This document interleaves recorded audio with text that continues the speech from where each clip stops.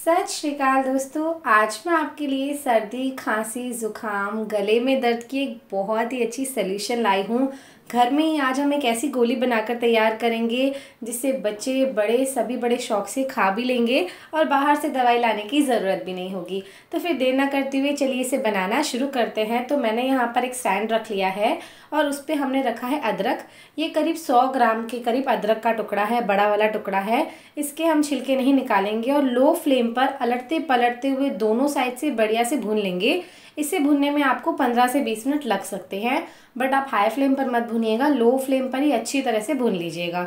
उसके बाद हम इसे थोड़ा सा ठंडा करेंगे और किसी भी बर्तन में पानी में डालकर इसकी जो ऊपर वाली स्किन है ना, उसे हम उतार देंगे। तो आप देख सकते हैं, अच्छी तरह से हम इसकी स्किन को रिमूव कर रहे हैं। आप यहाँ पर थोड़ा सा पटेटो पीलर की हेल्प भी ले सकते हैं। उससे आप थोड़ा थोड़ा सा छिलका निकालेंगे ना तो बढ़िया से ये सेट हो जाएगा। ऐसा पॉसिबल नहीं है कि पूरी तरह से ब्लैक स्किन निकल जाए। थोड़ी बहुत रह जाएगी तो भी कोई प्रॉब्लम नहीं है। बट आप कोशिश कीजिएगा कि ज़्यादा हिस्से तक ये जो हमारी भुनी हुई स्किन है, हम इसे बाहर निकाल दें। अब यहाँ पे मैंने इसे अच्छी तरह से साफ़ कर लिया तो मैंने यहाँ पर एक मिक्सर जार ले लिया है और उसमें उस अदरक के छोटे छोटे टुकड़े करके हम इसमें ऐड कर देंगे। ध्यान रखिए, अदरक को आपको लो फ्लेम पर ही भुनना है हाई फ्लेम पर मत भुनिएगा। अभी सारी अदरक के टुकड़े हमने इसमें छोटे छोटे करके डाल दिए हैं। अब हम इसे बढ़िया से पीस कर रेडी कर लेंगे।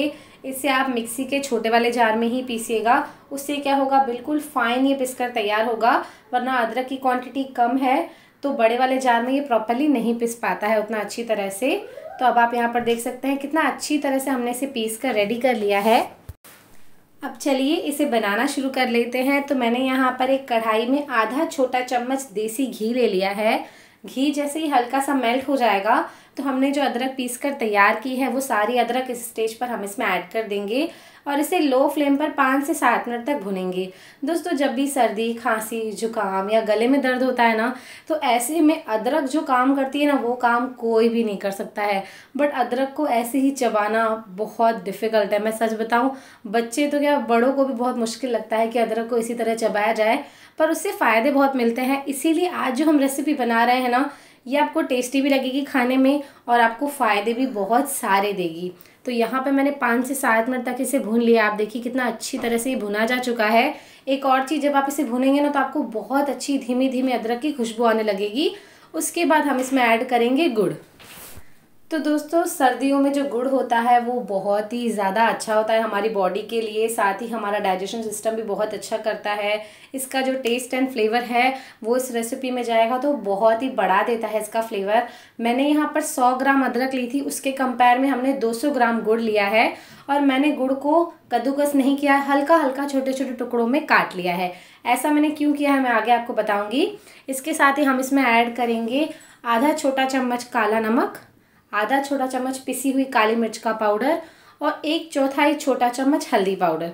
ये तीन सूखे बेसिक मसाले इसमें जाएँगे। काली मिर्च हमारे गले के खराश के लिए बहुत ही ज़्यादा काम आती है दोस्तों। नमक भी, जो काला वाला नमक हमने इस्तेमाल किया है, वो भी हमारे सर्दी खांसी में बहुत ही हेल्पफुल होता है।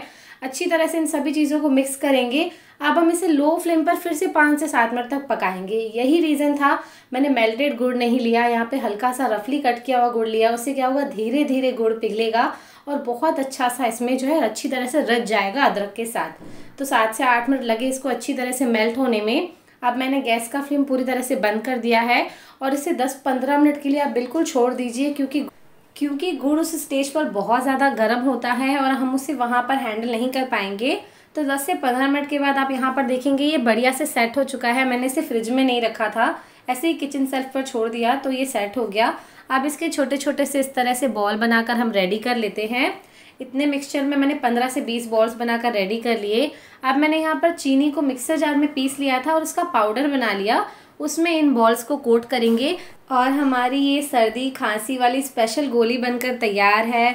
आपको जब भी लगे कि आपको गले में दर्द हो रहा है या फिर खराश हो गई है खांसी हो गई है तो आप इस एक गोली का यूज़ कर सकते हैं। साथ ही दोस्तों बच्चे बड़े कोई भी इसे इस्तेमाल कर सकते हैं इनका कोई साइड इफ़ेक्ट नहीं है।